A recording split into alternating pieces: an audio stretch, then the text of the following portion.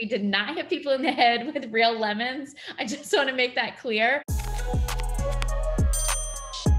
My name is Jessica Griffith, and I'm an executive producer at Wieden. My name is Connor Mason.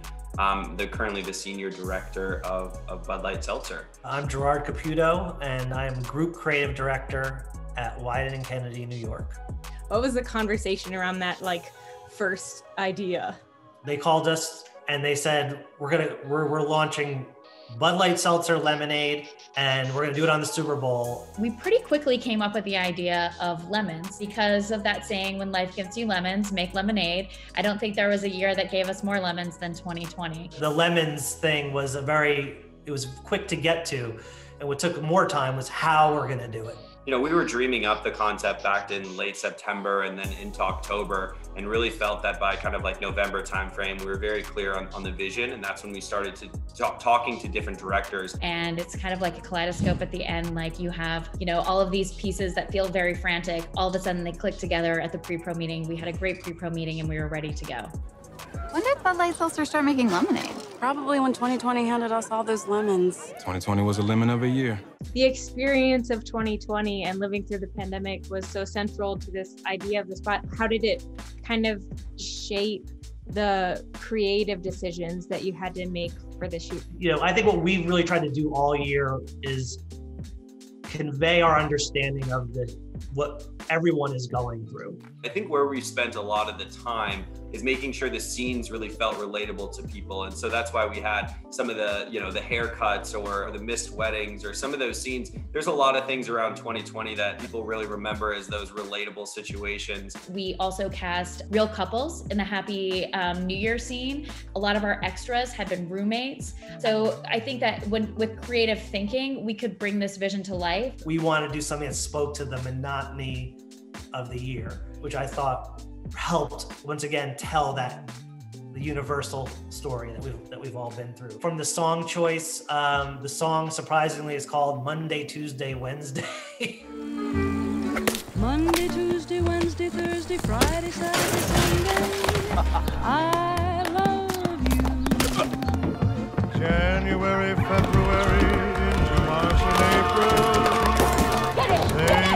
Had 4,000 real lemons. We had about 1,400 plastic lemons. We had some foam lemons that were actually hitting the people in the windshield of the bus scene. The lemons that are exploding, those are being thrown by art production. So when you see lemons exploding in certain places, those are actually practical.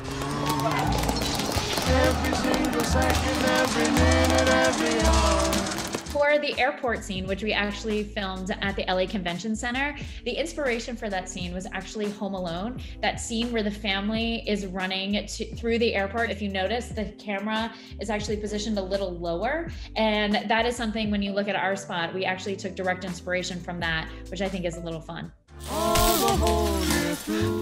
Haircut scene, normally when you do a scene like that, you only have one to two takes at it because you're cutting real hair. So once the hair is cut, it's not growing back anytime soon. The guy's hair, actually, he had so much of it that we actually did 10 to 15 takes of that shot because his hair in the back, we could flatten to the front and then he could do it over and over again and you couldn't really tell. It is intense right here. Monday, Tuesday, Wednesday, Thursday. Friday, Saturday, Sunday, Monday, Tuesday. One of my favorites was uh, the cardboard cutouts that actually got pelted with with lemons. I was like, oh, how are we gonna kind of destroy these cardboard fans with lemons? And there was literally people there just just winging them. I think there's something satisfying too about seeing them get kind of smashed because it's annoying that the cardboard fans get to go to all the games and everyone else has to stay home. I think if I didn't have my job, my the job I would want would be the guy throwing the lemons at the cardboard fans for sure.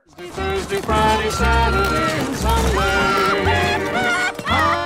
There's a lot of lemons. Well, you know what they say when life gives you we lemons. We know the saying, Mark. You know, having this guy come in and say the same, but then they cut him off because it's like they're speaking for the audience. Like we know the saying, like you don't have to tell us the saying. And I, I think for me that saved it. I, I didn't really want to say the saying. How have um, fans responded to the ad? By our metrics, we were accounting for over 300,000 conversations that happened about our Super Bowl spot from January 28th up until the, the Super Bowl and, and then through that, that entire day. Is there anything that you're taking from this experience of making a Super Bowl ad during a pandemic year that you think you'll continue to apply to your work when things go back to some kind of relative normal? It just forces you to focus on the things that you can actually control. It taught us how to be more connected as a team and communicate better as a team because we don't all get to be on set. In fact, no, no one from the brand or agency team um, was on set. The bonus uh, is, you know, I've been able to have other people observe the shoot. We had an intern watch shoots. We have project managers. Like everyone can kind of dip in and check out hey what's going on on a shoot you know it was really a learning experience for me of, of what can be done when you get some amazingly creative people together so i would say that's kind of my takeaway from from this whole experience